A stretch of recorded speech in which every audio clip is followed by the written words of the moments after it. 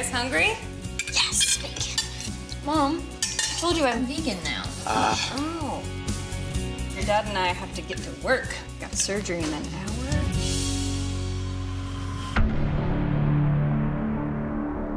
I had a consultation with this woman who used to be in your intern program. Elizabeth?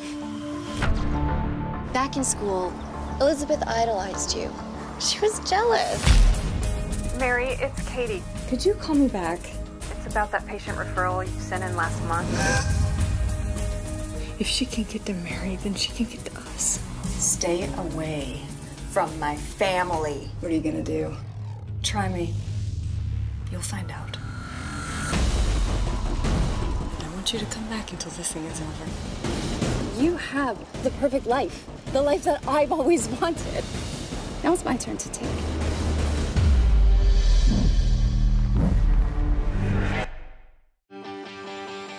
Pretty soon you're gonna be better than ever. Thank you, Dr. Natalie. How about dinner tonight? Okay. See you later. You love him. You really do. Hey, Carol. I can't imagine my life without you. Natalie Sims. Will you marry me? I can't. Before I married your grandpa, I wasn't so sure he was the one. What helped you decide? This veil, it helps you imagine things that could be. Hey, I love that scarf. Daddy said we can make pancakes for snack time. Something very strange is going on. Mommy, say ah. When you asked me to marry you, how did you know that you're making the right decision? I didn't know, but I knew there wasn't anyone else I wanted to try it with.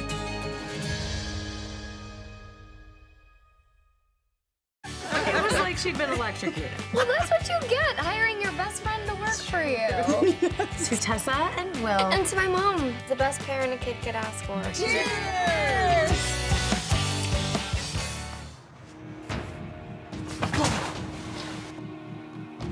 Oh my god. Oh, help! We did everything we could. He's gone. No.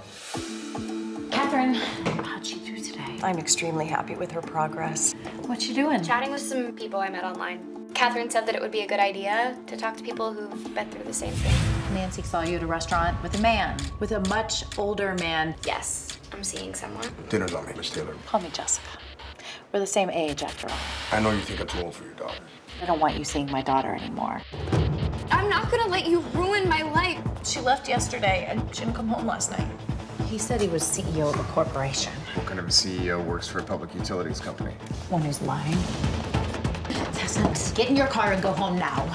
Stay away from her. If you try to keep her from seeing me again, I'll kill you.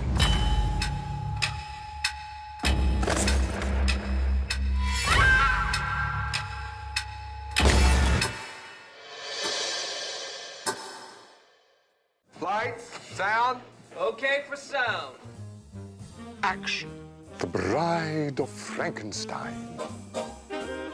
A man with a legendary career behind him. Who's this new yard man? Mr. Boom, I, I thought something big. He came cheap. A man with his life still ahead of him. Hey, the master wants to know if you're free for lunch. I do have a lawn this afternoon. I'm free until then. Expect nothing fancy. Come in, Mr. Boone. Separated by class. Are you famous? I was merely a director.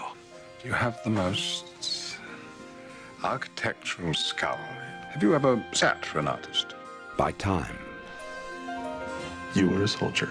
I was an officer in the trenches. And by desires. All I know is bugger. He's a bugger. Does that surprise you? I'm not. You know. Hmm. I did not think you were bugger, too. They have nothing in common. Mr. Clayton Boone, my gardener. He's never met a princess, only queens. Except their humanity. I've spent much of my life outrunning the past. And now it floods all over me. I'm losing my mind. Every day a new piece of it goes, and soon there'll be none of it left. My condition will continue to deteriorate until the end of my life. Why are you here? Let's get this straight. What do you want from me? What do you want? Just back from the hospital already You're chasing after boys. Oh, shut up. Man's got to make up his life alone. A philosopher. Thoreau, with a lawnmower. Do you believe people come into our lives for a purpose?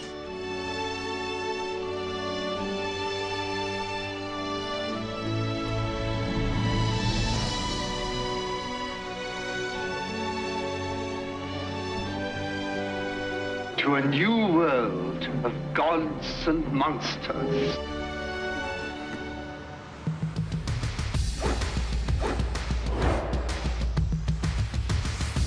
Opto por uma nova forma de ver a SIC.